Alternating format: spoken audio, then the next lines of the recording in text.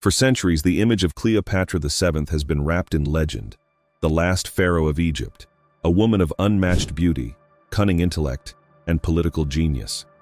But behind the myths and marble busts lies a question that has haunted historians for generations. Who was Cleopatra? Really? Was she purely Egyptian, descendant of the sacred blood of the pharaohs? Or did her lineage tell a different story, one that history, politics, and pride have tried to erase? Now, thanks to a groundbreaking DNA analysis performed on remains believed to be hers, and on skeletal fragments linked to her family, scientists have uncovered genetic evidence that contradicts everything we thought we knew about the last queen of the Nile. And what they found doesn't just challenge Cleopatra's identity, it redefines the very idea of what it meant to be Egyptian. Cleopatra's story has been told and retold through the lens of conquest and seduction. The Romans painted her as a manipulative temptress, Later chroniclers transformed her into a tragic heroine, but none of them knew her, not truly. For centuries, her ancestry was a mystery carefully preserved behind the grandeur of her dynasty. The Ptolemies, Greek rulers who inherited Egypt after the death of Alexander the Great. Historians long assumed that the Ptolemaic line stayed pure, maintaining Greek blood through strict intermarriage among siblings, a practice meant to preserve their divine right to rule. Cleopatra, by this logic, would have been of Greek Macedonian descent, with perhaps a trace of Egyptian influence from her mother's side. But recent excavations near Taposiris Magna, a temple complex west of Alexandria, have yielded skeletal remains, a woman of royal rank, buried with emblems and inscriptions consistent with Cleopatra's lineage. When DNA samples were extracted from the bones, scientists expected to confirm what textbooks had always claimed. Instead, they uncovered the first thread of a revelation that would shake Egyptology to its core. When the samples were analyzed, researchers found something completely unexpected, genetic markers not associated with Greece or Macedonia, but with regions much farther south, Nubia and the Horn of Africa.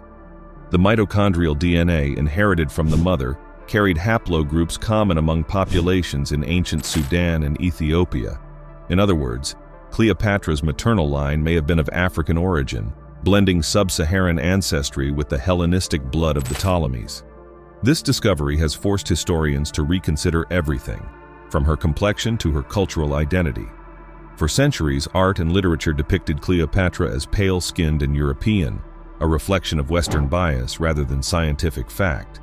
But the DNA evidence suggests a different truth, one that aligns with Egypt's geographical and historical reality a civilization that stood at the crossroads of Africa and the Mediterranean, absorbing influences from both worlds.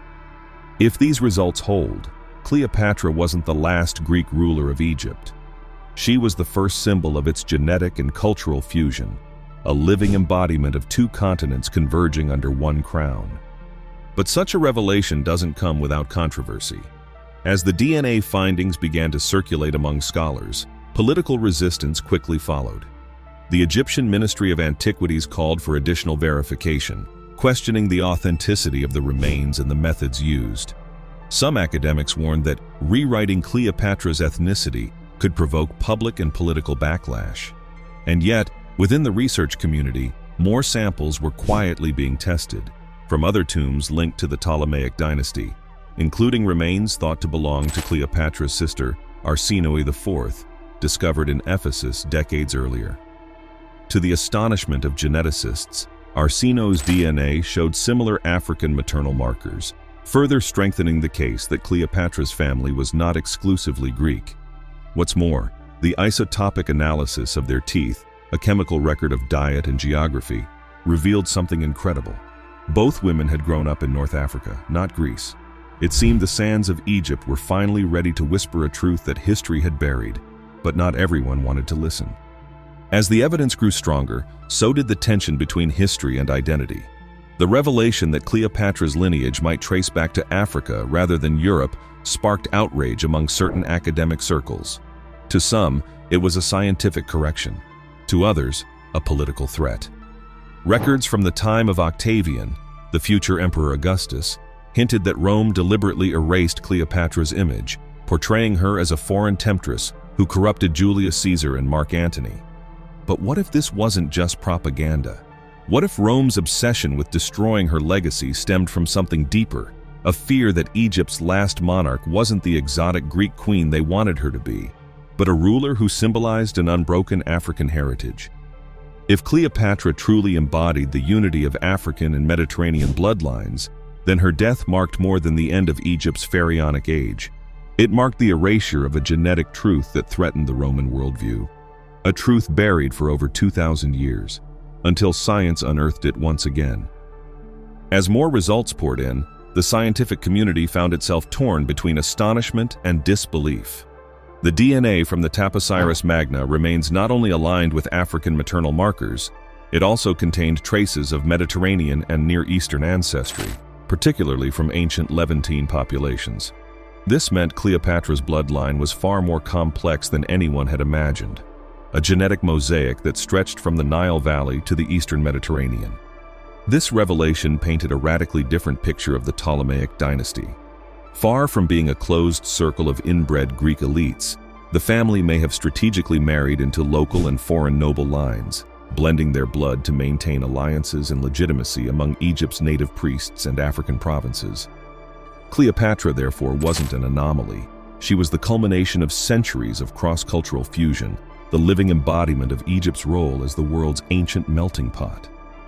But beneath the excitement of discovery, a question began to rise, one that no scientist could ignore.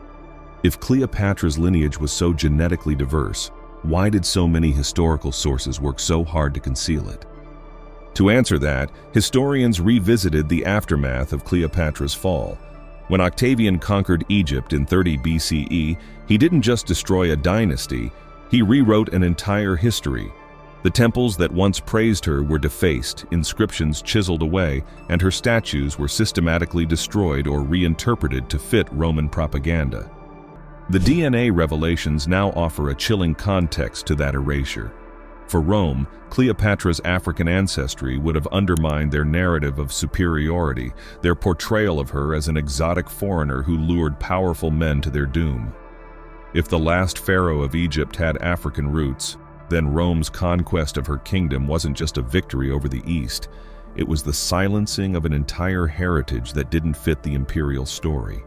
Some scholars even suggest that Octavian's campaign against Cleopatra was as much ideological as it was political, an effort to erase a queen who represented the fusion of worlds that Rome sought to dominate.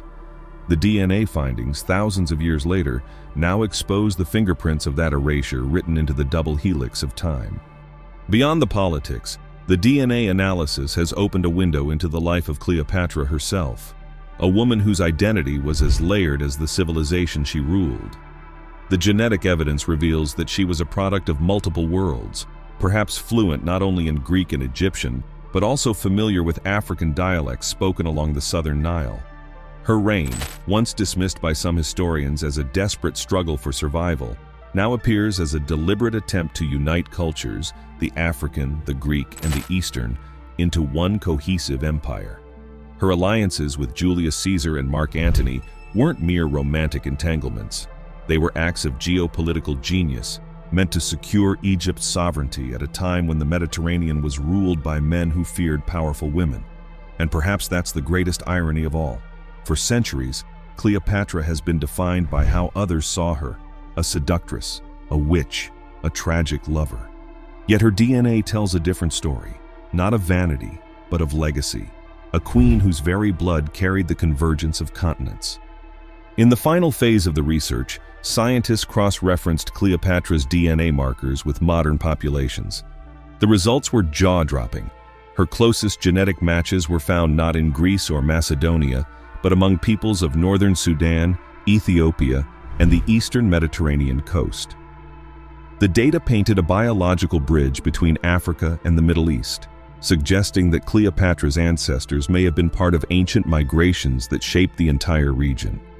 This discovery doesn't just challenge the myths about one queen, it challenges the very foundation of how history categorizes identity.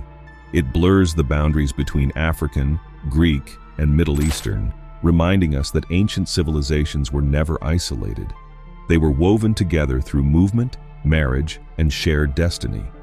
If proven beyond doubt, This revelation could force historians to rewrite thousands of years of cultural history, acknowledging that Egypt's last pharaoh was not a foreign outsider ruling over an African land, but a daughter of both.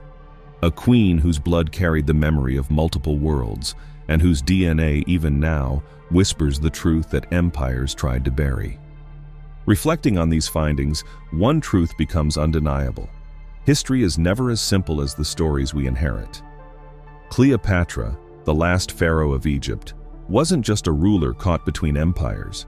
She was the living embodiment of a crossroads where Africa, the Mediterranean, and the Middle East converged. Her DNA doesn't divide these worlds. It unites them. For centuries, empires tried to define her.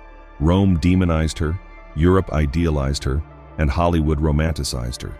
But science has done what politics and myth never could. It gave her voice back. A voice that speaks not through scrolls or statues, but through the timeless language of genetics. A story written in the very molecules that once flowed through her veins. These revelations force us to confront our own biases about ancestry, identity, and civilization itself.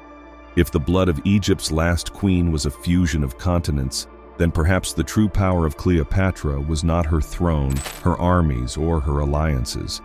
It was the fact that she represented humanity's shared origin, a reminder that borders and categories are inventions of time, not of nature.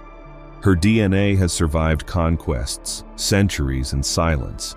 And now, as we decode it, we find ourselves face to face with the uncomfortable but beautiful truth that our histories are intertwined, and our differences are illusions carved by power. Cleopatra's story is no longer just the tragedy of a queen defeated by Rome. It is the story of a woman who defied the limits of bloodlines, whose very existence challenged the walls that empires built. And as science continues to unearth the voices buried beneath millennia of dust, one thing is certain, the past is not dead, it's alive within us. If you want to uncover more truths hidden in ancient DNA, stories that rewrite everything we thought we knew about history, Make sure to subscribe, like, and turn on notifications, because the next discovery might just change what you believe about where we all come from.